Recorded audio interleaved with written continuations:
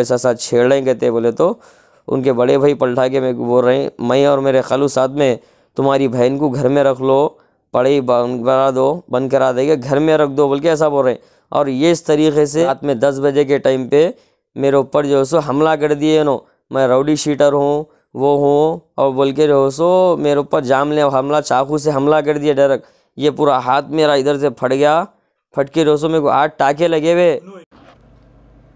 शहर हैदराबाद में कत्ल व गारतगिरी का बाज़ार गर्म है। रोज़ाना दिन दहाड़े सरेआम कत्ल हो रहे हैं।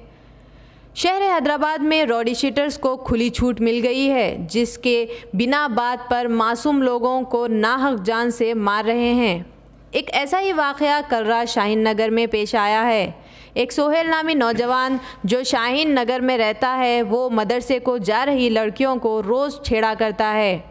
वहाँ के मुकामी नौजवान शेख फैसल ने जब सोहेल से बात करने के लिए उनके घर गए तो सोहेल के बड़े भाई अहमद फ़हाद अली और उनके वालिद ने तेज़ हथियार से शेख फैसल पर हमला कर दिया और जान से मारने की धमकी भी दी।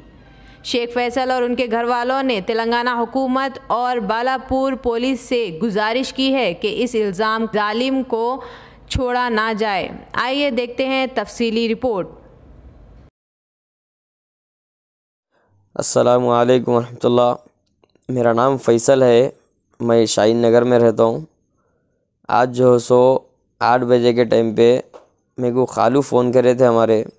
कि बहन को जो सो, कुछ घर के बाजुक के बच्चे जो सो छेड़ रहे बोले तो मैं गया था। तो घर के जो सो बाजुक बच्चे को जाके, बहन को छेड़ रहे मदरसे को जाते को आते को बोले तो मैं बोला, ठीक है, जाएँगे। बोल के गए घर पे बाजुक बच्चे गए तो उनका बड़ा भाई निकला। तो उनके बड़े भाई को बोले कि, भाई, मेरी बहन को ऐसा साथ छेड़ रहे कहते बोले तो उनके बड़े भाई पलटा के मेरे को बोल रहे मैं और मेरे खालू साथ में तुम्हारी बहन को घर में रख लो पढ़ाई बंद करा दो, बंद करा देंगे घर में रख दो, बोल के ऐसा बोल रहे हैं। और ये इस तरीके से पूरे गली के बच्चियों को भी इसी तरह स्कूल से जाने को, आने को, मदरसे को छेड़ रही और आज जो है सो, रात में दस बजे के टाइम पे मेरे ऊपर जो है सो हमला कर दिए नो मैं राउडी शीटर हूँ, वो हूँ, और बोल के जो सो मेरे ऊपर जाम ले हमला, चाकू से हमला कर दिया डायरेक्ट ये पूरा हाथ मेरा इधर से फट गया। फट के रोसो को आठ टाके लगे हुए। अकेले थे उनके साथ कोई नहीं थे। नहीं उनके साथ जो है सो उनके एक भाई थे छोटे भाई और उनके बाबा थे। टोटल दो भैया और बाबा।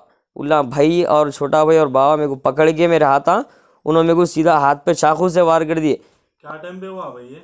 ये दस बजे के टाइम पे हुआ वही ये वाक़ और वो वीडियो में भी है कि मैं अपनी जान बचा के जो है सो वहाँ से भाग रहा था। और मेरे को जो है सो इनसे मेरे घर वालों को और मेरे को जान का धोखा है।